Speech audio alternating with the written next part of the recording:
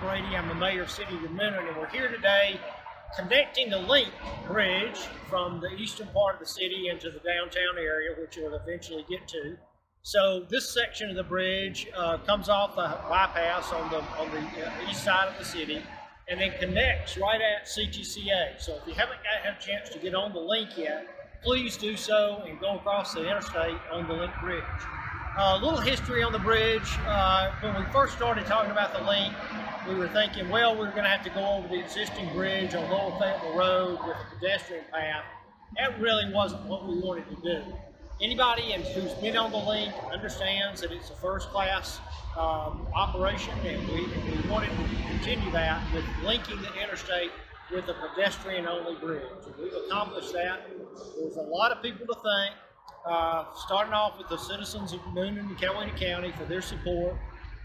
Uh, the the, uh, the LINC uh, system in Newnan and the LINC group, we appreciate their support. Llewellyn uh, as, uh, as the construction folks on this and Pathways for, for all of their fine support. But we just want to encourage all the citizens of the city of Newnan to come out and utilize this great new way to exercise and have fun with your family in the city of Louisville.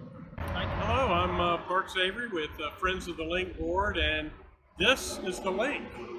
Uh, hence the name. We're able to uh, uh, connect the east and west parts of the city, and we couldn't be happier. Come out and enjoy.